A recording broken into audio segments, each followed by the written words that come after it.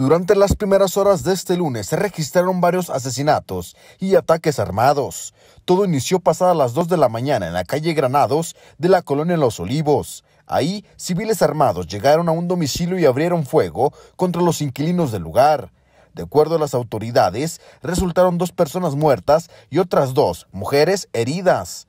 Casi simultáneo, también se registró un ataque a por lo menos dos domicilios en el fraccionamiento Abel Dávila García. Derivado al ataque, también un carro acabó incendiado. Pasaban de las 6 de la mañana cuando se registró otro homicidio en la colonia Ramón Amaro, cerca a la colonia del Sol.